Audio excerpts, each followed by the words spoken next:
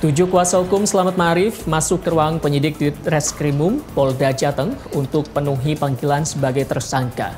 Mereka datang untuk menyampaikan absennya Selamat Ma'arif karena sakit. Tim kuasa hukum meminta penjadwalan ulang sekaligus pemeriksaan saksi ahli. Mereka mengusulkan empat saksi ahli, yakni dua ahli pidana, satu lagi bahasa, dan satu ahli terkait pemilu. Kuasa hukum menyebut Selamat tengah sakit darah tinggi dan flu berat akibat aktivitas tinggi. Hasil pertemuan langsung disampaikan ke seratusan pendemo di depan Mapolda.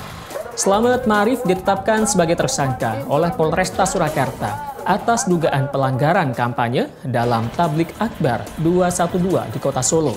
Pemeriksaan dipindah ke Mapolda Jateng atas alasan keamanan.